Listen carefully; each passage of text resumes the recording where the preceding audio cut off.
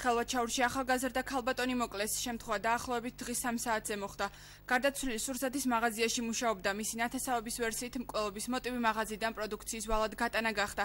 გარდაცვლილის ბიძაშვილი აცხადებს რომ მამაკაცმა მის ნათესავს სასიკვდილო ჭრილობა მას შემდეგ მიეყენა რაც სურსათის გაცემაზე უარი მიიღო. მისივე ინფორმაციით მკვლელობის მომენტში მაღაზიაში კიდევ ერთი მყიდველი იმყოფებოდა რომელმაც ქალბატონის დახმარებას სცადა თუმცა ბოროტო მოქმედებამ მასაც რამდენიმე ჭრილობა მიეყენა. დაჭრილი გადაყვანილია სამედიცინო დაწესებულებაში. შინაგან საქმეთა საქმეთა სამინისტროს ინფორმაციით საქმე აღზრულია სისხლის სამართლის კოდექსის 108 მუხლით, რაც განზრახ მკვლელობას გულისხმობს. მისიად მოთხოვა რაღაც საკონელი, ვარი უთხრა და აქედან გამომდინარე მოხდა ეს ყველაფერი. როგორც ვიცი, გუშინ წაუღია ამ მაღაზიიდან ამ პიროვნებას.